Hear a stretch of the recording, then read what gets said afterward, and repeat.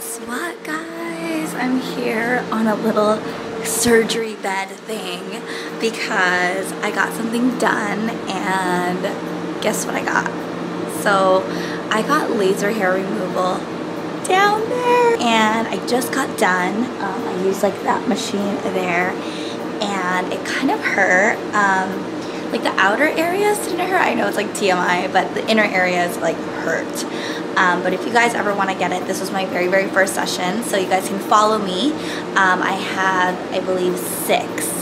So every six to eight weeks, I have like, yeah, a few more that I have to go to. But this was my very, very first time and my very, very first one. So I'll let you guys know my progress. Um, today, um, they have like little marks on my um, girly areas. But um, they did it for me and it feels good. It feels a little tingly, so I put like aloe vera on.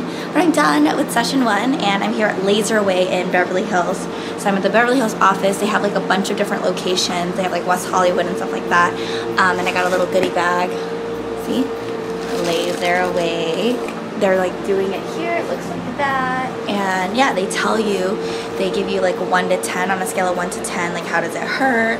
Um, at first it was like 1, like didn't really hurt, and then it was like 4 or 5, and it was like, ah! But um, I loved it, you know, I'm so excited. And I was gonna do my armpits, but unfortunately, since I have a spray tan um, on, I couldn't do it because there was spray tan like left over on here.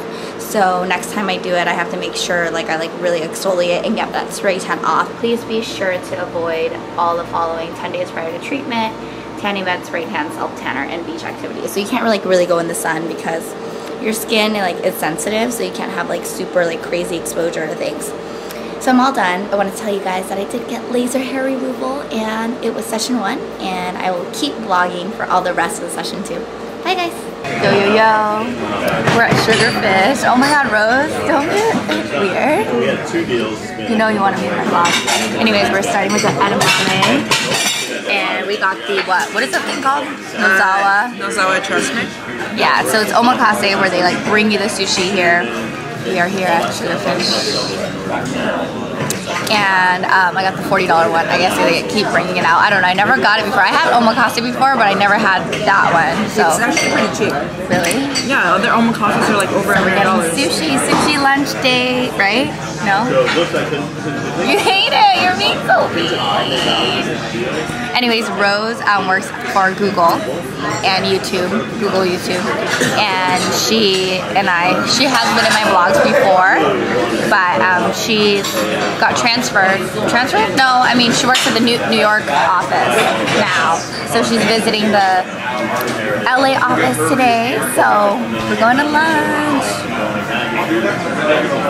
Just say what's up. What? Just say hi. I.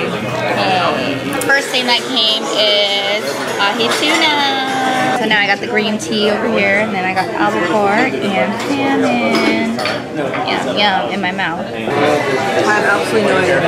Oh my gosh. You should know better than me. I know, I think this is snapper. No. Or halibut, halibut, halibut sure. And I think this is yellowtail. And I think this is... Albacore? Um, you want me to at a menu? No, I think we know. It's all good. It's fish. So full. Coral roll. Getting so full. I don't know if I can eat anymore. Alright, our last thing I just want to show you guys is crab. Yum yum, it's the last thing. What, blue crab? Sorry. Esme and her boyfriend CJ are eating Mexican shrimp fajita. Oh my god, it looks so good. Look at that. Shrimp and rice and guacamole. Today is definitely a cheat day because it's just a lot of food. As got, what did you got? Chicken? Yeah, chicken fajita. Yeah, yeah. And then tacos over here. We we killed the chips salsa here, and then I just got water. Oh, and they have like a live um, mariachi right here. Live music.